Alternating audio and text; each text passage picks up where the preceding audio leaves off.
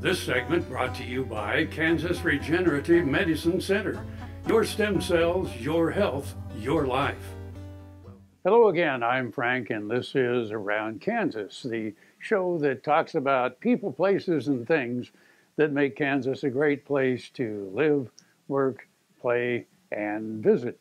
And of course, I'm here in uh, Topeka, Kansas, in the WREN radio studio, and my co host, Deb Goodrich, is out in, well, western Kansas. Okay.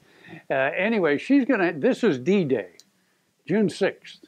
And of course, D Day was a, a, an incredible, incredible day. And we still have to salute those that went and did a job. I mean, remember this now. When they hit the beach at Normandy on June 6, 1944, a lot of them were teenagers. That's right. They were 18, 19, 20 years old, um, and they did what they had to do. Anyway, uh, so we salute them on this D Day in 2018. So, anyway. Let's also talk about some great things that are happening in the uh, month of June here in Kansas. Uh, well, before we get to that, there are other commemorative days.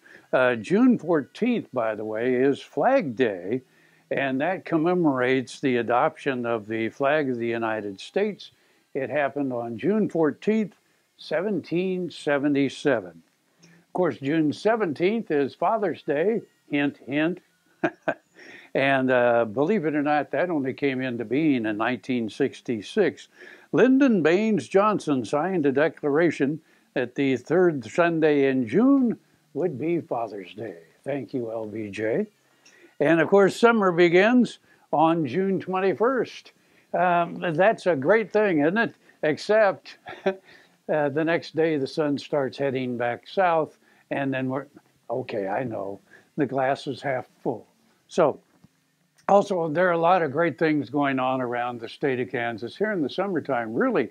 And one of them that is in June, and I used to go to this because we had a cabin over at the uh, City Lake uh, at Council Grove and just loved it over there. And they have a, a celebration called Washunga Days, okay? And it is June 15th through 17th this year. Um, and it's all along the Neosho Riverwalk Park.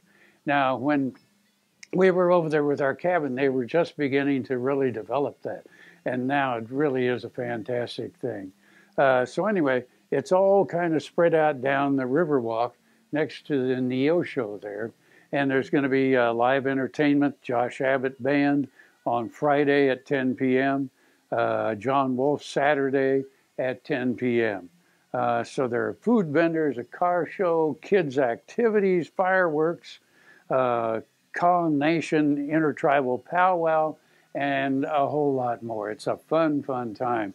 And of course, there are two lakes over there. There's a state lake um, that is a very large lake, and then there's a city lake, which is really a quaint little place with a lot of cabins around it and all that. Anyway, so there's the commercial for Washunga Days at Council Grove this year. There are a lot of other things going on.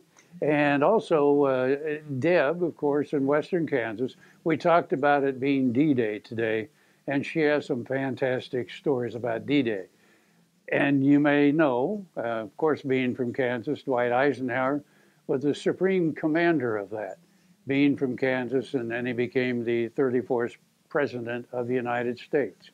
And just in recent years, it came to light that he wrote a letter before the invasion started on June 6th, and that was that he blamed himself for the failure of D Day. Of course, that didn't happen, and anyway, the rest is history. All right, so anyway, we have some great stories today from Deb, and we'll take a look at them after you see this.